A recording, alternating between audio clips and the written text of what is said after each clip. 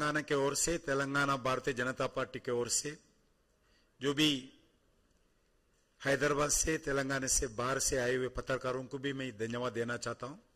दो दिन से आप लोग, तीन दिन से इस कार्यक्रम को कवर करने के लिए आए हैं।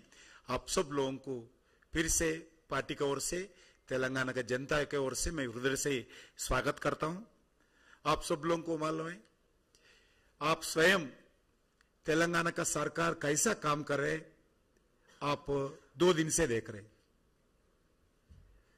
हम एक महीने से इस कार्यक्रम को सफल बनाने के लिए बहुत प्रयास करे हमारा कार्यकर्ता।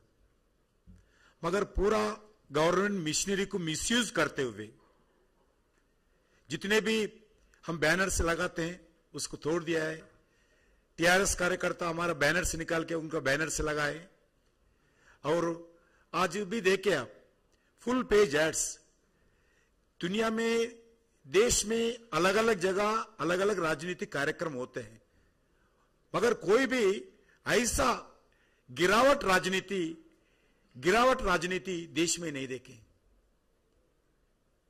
वो बोलते हैं, तेलंगाना को आके हम क्या कर रहे हमारा सरकार से सीखने के लिए आए मैं बताना चाहता हूँ, आपसे क्या सीखने का है? आपका फैमिली रूल कैसा है, वो सीखने का है क्या? आपका बाप बेटे का सरकार कैसा करे, वो सीखने का है क्या? कितना भ्रष्टाचार कर रहे वो सीखना है क्या? कितना आप डिक्टेटरशिप चलाते हैं, वो सीखना है क्या?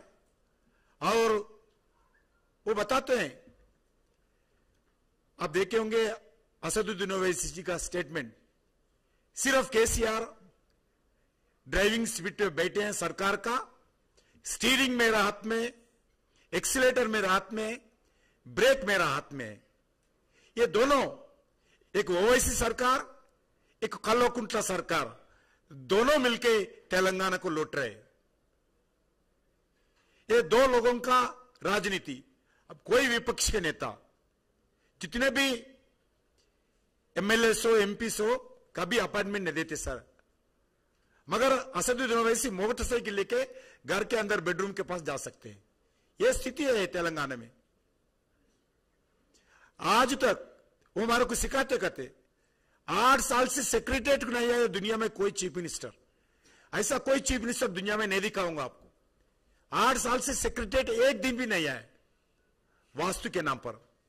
ऐसे सेक्रेटरीट को तोड़ दिया हो। वो हमारे को सिखाते कहते सरकार कैसा चलाना। ये फार्म हाउस में रहते हैं। एक महीने में बीस दिन फार्म हाउस रहते हैं, वो हमारे को सिखाते कहते, सरकार कैसा चलाना।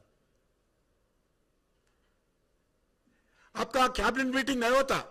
डेली फैमिली परिवार के लोग डाइनिंग टेबल में बैठकर चर्चा करते हैं, वही कैबिनेट है उनके लिए। जनता का तेलंगाना के जनता के लिए वही कैबिनेट है। वो हमारे को सिखाते कहते कितने सरकार का पैसा खर्च करके लगभग 40 करोड़ रुपए सिर्फ़ होर्डिंग्स के लिए खर्च किया है और कितना एडवर्टाइजमेंट के खर्च ले आपको देख रहे सिर्फ़ हमारा मीटिंग को काउंटर करने के लिए। उनका मीटिंग किया है, हम कभी नहीं बोले हैं। उनका मीटिंग वो करते हैं, कांग्रेस का मीटिंग वो करते हैं अलग अलग राजनीति का मीटिंग करते हैं। मगर ऐसा गिरावट राजनीति कर कर, सीधा डिप्रेशन में वो लोग। डिप्रेशन से ऐसा कर रहे अब अभी भी अभी अभी भारतीय जनता पार्टी का इलेक्शन के बारे में पीयूष गोयल जी बताए। बिल्कुल आज तेलंगाना में भारतीय जनता पार्टी का जनता से एक आशीर्वाद देने का तैयार है जनता। वेट कर रहे हैं। डरते हैं भारतीय जनता पार्टी को। इसीलिए सुबह से लेकर शाम तक मोदी साहब के खिलाफ कैसा बोलना, प्रधानमंत्री, आदरणीय प्रधानमंत्री के खिलाफ, भारतीय जनता पार्टी के लिए कैसा बोलना चाहिए? झूठ प्रचार करते हैं, गर्व प्रचार करते हैं विश्व प्रचार करते हैं। उनके पास कोई प्रजातंत्र के ऊपर विश्वास नहीं है। जितने भी तेलंगाना आंदोलन में उनके साथ थे, जो लोग एम्प्लॉयज़ हो टीचर्स हो जर्नलिस्ट हो यूथ ऑर्गेनाइजेशन हो, स्टूडेंट ऑर्गेनाइजेशन हो, जितने लोग उनके साथ तेलंगाना आंदोलन में थे, एक भी व्यक्ति उनके पास नहीं है। सभी परिवार उनको आजू बाजू रख लिए। ये माँ, बाप बेटे का सरकार है ये। कोई डेमोक्रेसी नहीं है। जितने एक आंदोलन करने का एक स्थान था जलता दिल्ली में जंतर मंतर थे। ये आंदोलन से आगे बढ़कर सत्ता में आए पार्टी है। ये बता, उस आंदोलन ने बंद किया है। हम सुप्रीम कोर्ट को जाना पड़ा हाई कोर्ट को जाना पड़ा।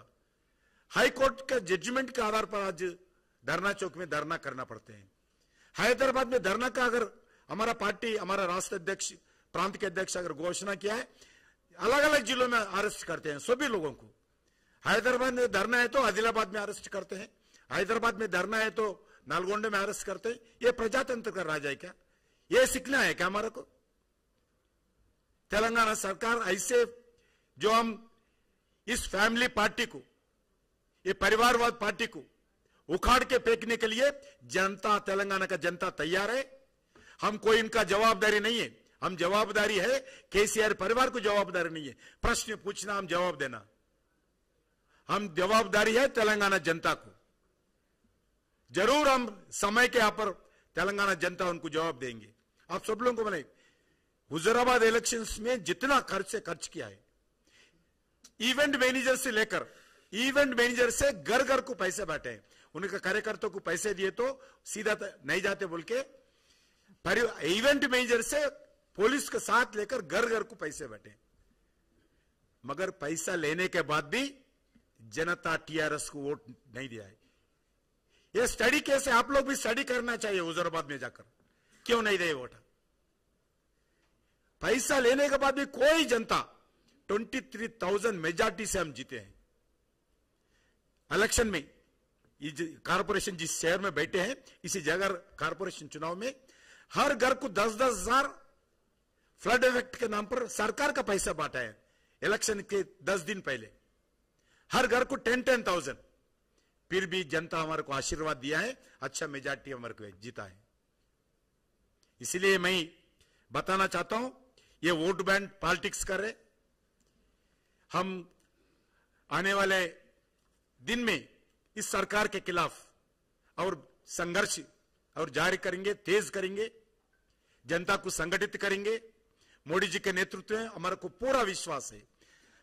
तेलंगाना जनता भी ये चाहती है, भारतीय जनता पार्टी आना चाहिए। ये परिवार राज जाना चाहिए। ये फैमिली रूल जाना चाहिए। आप लोगों को बताना चाहता हूँ, वास्तु के नाम पर मुख्यमंत्री घर था पहला। वो घर में नहीं गए, नया घर बना लिया चार महीने में, करोड़ रुपए खर्च करके, दस एकड़ में घर बना लिया उन्होंने। वास्तु के नाम पर सेक्रेटरीट को नहीं गया। पाँच साल फिफ्टी परसेंट पॉपुलेशन महिला है, मगर पाँच साल महिला मंत्री भी नहीं है कैबिनेट में। एक मिनिस्टर नहीं था महिला। ये हमारे को राजनीति सिखाते इनसे हम सीखना क्या? एक महिला को पाँच साल कैबिनेट में महिला नहीं रखते हैं वो हमारे को सिखाते कहते स्टेटमेंट देते। इसलिए हमारे को पूरा विश्वास है। सबसे ज़्यादा पेट्रोल रेट तेलंगाना में, हैदराबाद में है। देश में सबसे ज़्यादा। ये पेट्रोल के बारे में हमारे को बताते हैं। सबसे ज़्यादा पेट्रोल टैक्स, पेट्रोल डीजल के ऊपर तेलंगाना में है। सबसे ज़्यादा लिकर सेल तेलंगाना में है। सबसे ज़्यादा। रात को एक एक बजे तक लिकर शॉप्स खोले हैं इसलिए मैं बताना चाहता हूँ, ये हम अलग अलग स्कीम पर, वो बताते हैं, कोई स्कीम हम इंप्लीमेंट नहीं करना चाहिए, जितने पैसे है हमारा हाथ में दे दो। हमारा अकाउंट में डालो। आपको ने फ्री चावल देने वाले। आपको ने वैक्सीन देने वाले। हमारे को दो पैसे, हम देते हैं चावल। आप ग्राम पंचायत को क्यों पैसे देते हो? नहीं देना चाहिए। हमारे को दो। ये स्टेटमेंट देते स्टेट फोर्टीन फाइनेंस के कमीशन के आधार पर प्लानिंग कमीशन के आधार पर हम पूरा पैसे ग्राम पंचायत को हर साल देते हैं पॉपुलेशन के आधार पर देश भर में वैसा तेलंगाना को भी आते हैं। वो नहीं दे नहीं, नहीं लेना चाहते हैं। वो पैसा हमारे को दो आप लोग ग्राम पंचायत को स्टेट नहीं देने। एक पैसे भी इस आठ साल में ग्राम पंचायत को पैसा नहीं दिया। सिर्फ़ नरेंद्र मोदी जी के कारण केंद्र सरकार के कारण जितने भी गाँव तेलंगाना में है उस हर गाँव में सैनिटेशन हो स्ट्रीट लाइट हो उस सैनिटेशन के एम्प्लॉयज का सैलरी हो सिर्फ केंद्र सरकार के पैसे से ही आज गांव चल रहे एक रुपए नहीं देते మై అందరికీ మీ అందరికీ ధన్యవాదాలు రానున్న రోజుల్లో ఖచ్చిత తెలంగాణలో ఒక అద్భుతమైనటువంటి మార్పు రాబోతుంది నరేంద్ర మోడీ గారి నేతృత్వంలో మరి ఈరోజు భారతీయ జనతా పార్టీ విజయం సాధించాలని ప్రజలు కోరుకుంటున్నారు. తప్పకుండా ఆ దిశలో మేము అడిగేస్తాము. ఈ కార్యవర్గ సమావేశాలు ఏవైతే జరిగాయో తెలంగాణ ప్రజల్లో ఒక విశ్వాసం కల్పించేటువంటి ప్రయత్నం ఈరోజు జరిగింది. ప్రజలందరూ కూడా ఈరోజు మేము ఒక్కరమే కాదు సంతోష్ తెలంగాణ ప్రజలందరూ ఈ కార్యవర్గ సమావేశాల సందర్భంగా సంతోషంగా ఉన్నారు స్వాగతం పలుకుతా ఉన్నారు.